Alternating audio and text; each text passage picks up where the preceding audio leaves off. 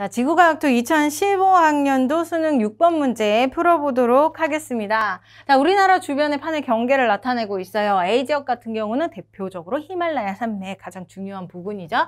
자, 수렴형이면서 그 다음에 충돌형 경계임을 알 수가 있습니다. 그 다음 B지역은 우리 마리아나 해구로 유명한 부분이죠. 수렴형이면서 섭입형 경계임을 알 수가 있고요.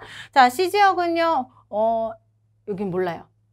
자, 자, 수렴형이면서 이제도 마찬가지로 섭입형 경계임을 알 수가 있습니다. 자, 그런데 문제에서는 공통점을 이야기를 하고 있네요. 이 공통점을 한번 찾아보면 일단 수렴형인 게 바로 공통점이죠. 그리고 이 수렴형 경계가 만들어지려면 멘틀 대류의 하강부에 위치되어 있어야 된다는 걸 알 수가 있습니다.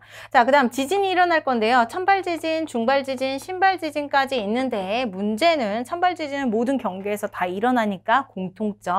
자, 중발 지진 같은 경우는 여기 충돌형 경계에서 일어나고요. 섭입형 경계에서도 일어나는데 신발 지진은 충돌형 경계에서 일어나지 않아요. 충돌형 경계에서는 중발 지진까지만. 그래서 신발 지진은 공통점이 아니다라는 거.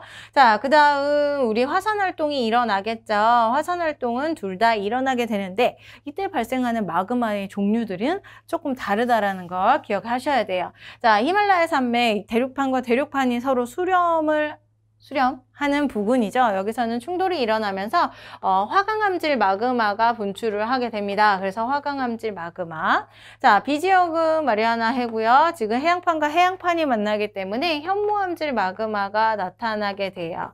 그리고 여기 C지역에서는 유라시아판과 태평양판 서로 만나기 때문에 자, 여기에서는 어, 안산암질 마그마가 나타나게 됩니다. 그래서 각각의 마그마의 종류가 다르다는 다르기 때문에 공통점은 되지 않는다는 거. 마그마의 종류는 공통점이 아니고 화산 활동은 공통점이고.